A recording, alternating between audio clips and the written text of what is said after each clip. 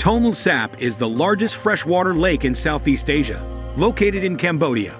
Around the lake, there are many floating villages where the village communities live in close proximity to the water. They rely on the natural resources of the lake, such as fish, water, and land, for their livelihood.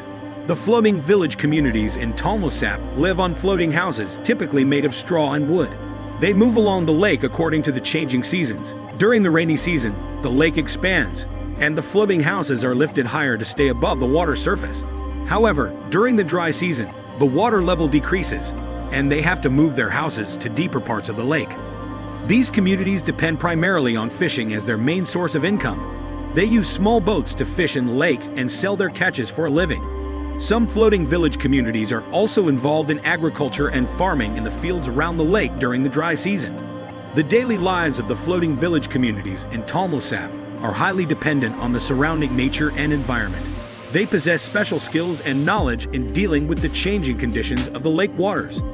Despite living in challenging conditions and often lacking adequate access to basic facilities like clean water and sanitation, these communities sustain their lives through resilience and adaptation. In recent years, the development of tourism around Tonle Sap has brought both positive and negative impacts to the floating village communities.